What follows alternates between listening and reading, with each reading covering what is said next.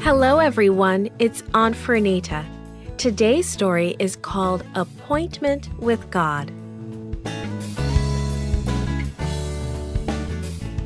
The memory verse is Matthew chapter 12, verse 8. It says, For the Son of Man is Lord of the Sabbath. The message is the Sabbath is a day to learn more about God's love. Lisa came home from school on Friday. There was that wonderful smell again. Mom was baking bread for Sabbath. Lisa washed her hands and helped her mother finish the Sabbath dinner.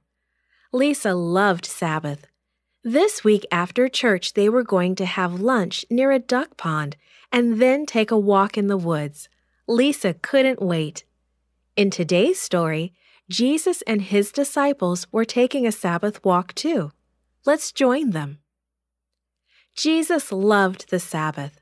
He loved to spend time with his friends and talk with them about the love of God. He loved to help people who were sick or sad feel better. One Sabbath, Jesus and his disciples passed through a field of grain.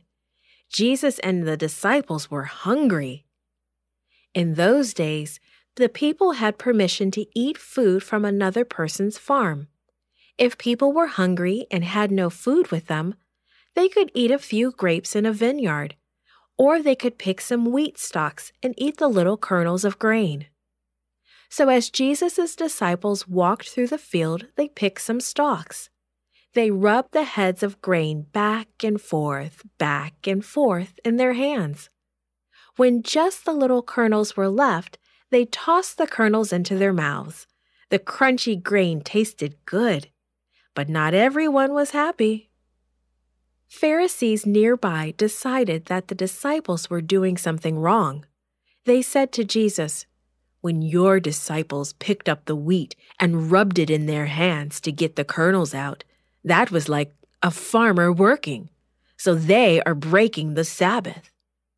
The Pharisees had taken God's beautiful Sabbath commandment and had made it into their own rule.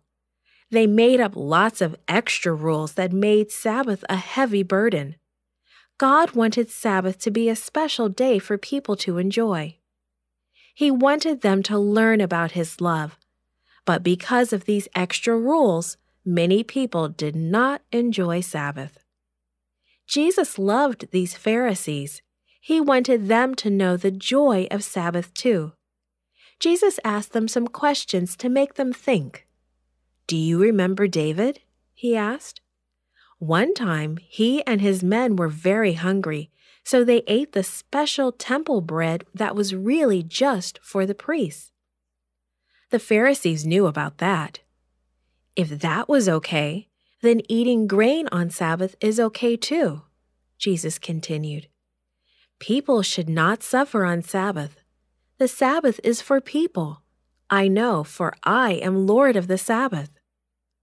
On another Sabbath, while Jesus was in the synagogue, he saw a man whose hand was crippled.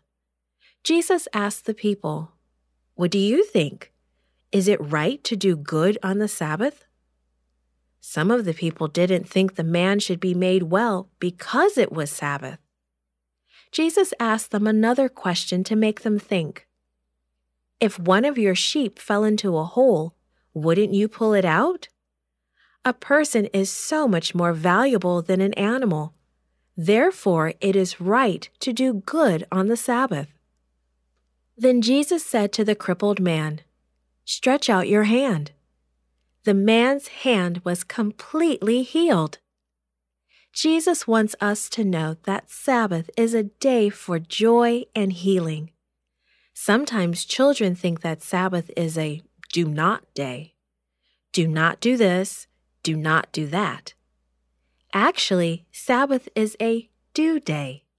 On Sabbath, we have more time to do something special, to do fun things that teach us about God's love. God created the Sabbath so together we can spend time with Him and learn more and more about His wonderful love.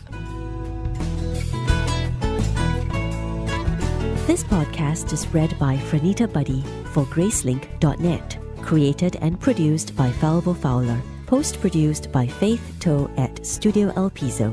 The theme music is by Clayton Kinney, animation and artwork by Giogo Godoy. The audio engineer was Karel Holness. For more information, please visit gracelink.net.